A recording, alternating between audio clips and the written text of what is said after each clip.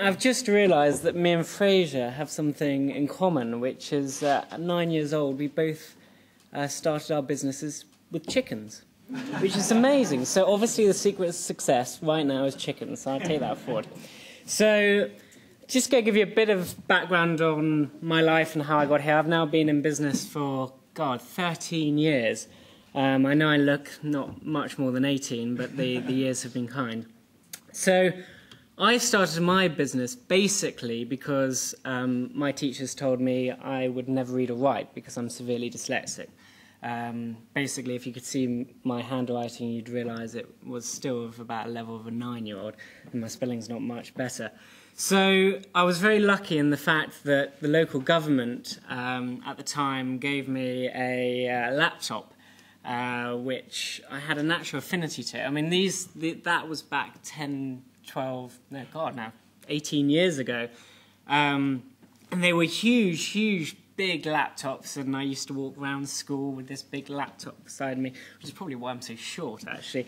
Um, and uh, so basically, I got very good at computers. And by the time I was about uh, about 13 or 14, um, my uh, friends' parents were saying, "Can you come round and help us with our uh, computer problems?" And I'm like, "Yeah, of course. You know, I'm getting quite good at this."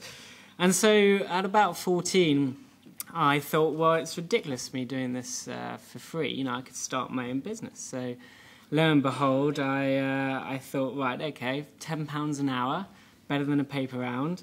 And um, so I started up a small computer consultancy and just ran it outside, ran it out of my bedroom.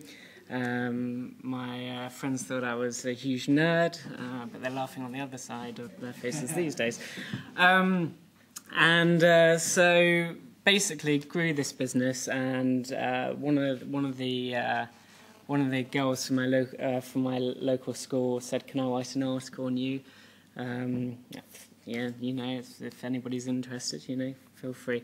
Anyway, she wrote this article, and the next day I was reading the newspaper, a bit disappointed to see it wasn't in there, apart from a closed uh, the paper on the front cover was kind of schoolboy Ben's sixty thousand pound a year business. So it's like, wow, you know, this is quite a crazy thing. And then everything everything really spiraled out of control from there because. Um, like Fraser said, media goes a bit crazy, and I did all the chat shows and uh, Esther Rantzen, and uh, so yeah, everything was going absolutely fantastically, running quite a successful business. Uh, left school. This was now when I was about 16.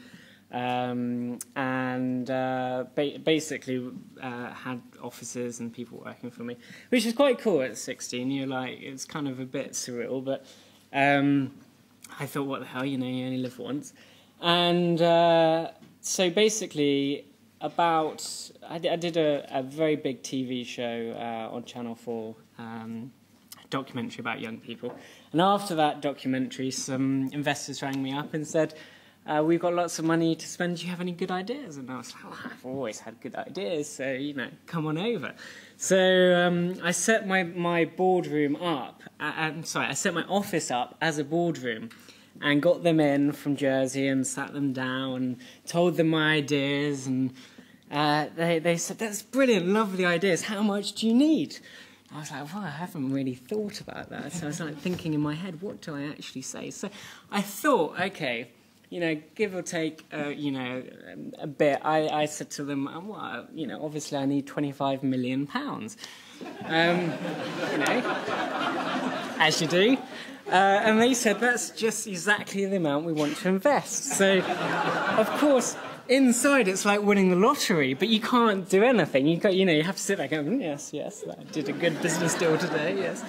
Um, and uh, basically, we raised we raised a lot of money uh, uh, back in uh, this was '98 um, to uh, develop what was the UK's first on um, uh, online shopping comparison technology called Pulsar.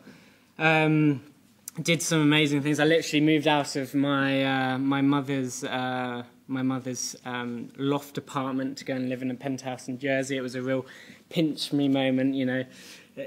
You know these crazy things were all happening fast. But the one the one thing that that I suppose that I did take from that is you just got to you've just got to grasp any opportunity uh, with both hands, and that's one thing I've always done. So anyway, we, we I was doing very well and uh, won the Entrepreneur of the Year from Gordon Brown. Um, and uh, then the whole dot com crash happened. So uh, I uh, I woke up one morning um, uh, and picked up the newspaper uh, to see I was in the rich list at uh, I think under Robbie Williams at 18.3 million pounds. This was also the same day I couldn't buy a tube ticket. which left me in quite a serious situation because basically I had lost everything my house, the girl I loved, my business, everything within about three months. And so um, I was like, God, what am I going to do? You know, I mean, maybe maybe it was a, a fluke. Uh, maybe you know this whole thing, you know, was uh, was a dream, and, and now it's all over. So um, I thought, okay, so went and stayed with some family friends, and uh, actually ended up doing a reality TV program for three months, which was a random thing in my past. Uh, don't watch it; it's not good. Um, uh, I don't do anything bad. Don't worry. Um, uh, and then, uh, so basically, then decided, okay, I've I've got to. Um, I've really, you know, I love business. It's what I'm passionate about. Um, Failure is not not a bad thing. You can learn from it and so I started the difficult task of, of getting back into business. So I basically started a small consultancy uh, company um, developing uh, kind of mobile phone applications, and just very small. Um, and uh, but it was the first step in terms of getting back on my feet. Uh, then uh, the business grew, and actually I invented a new technology to do with anti-piracy and we came up with a model uh, that seemed to work, which is where I came up with a good idea and we put people and kind of uh, resource around it and launched it. So that was kind of the beginning of my current company, the Rainmakers, and basically I've been running the Rainmakers now for five years. It's a very successful innovations company, and basically we work in one of three ways somebody comes to us with a good idea, we put people and resource around it and launch it into the market. I come up with a good idea, we put people and resource around and launch it. Or uh, sometimes um, corporates want us to come into their companies and innovate, um, but we do that quite rarely because I'm quite expensive. Um, so, I mean, the, the, thing I would say, if you guys, you know, you're, you're starting business, I've been doing it for 13 years, is that you know, really just if you if you're going to go out there and start your own business, you've just got to some you've just got to grasp it and actually um, just go and do it. Like our guy from HSB said, HSBC said, you know, it needs some planning, but don't be afraid of doing it. Even if you fail, which I have done many times, um, it will be the most amazing thing you ever, ever do in your entire life. Thank you.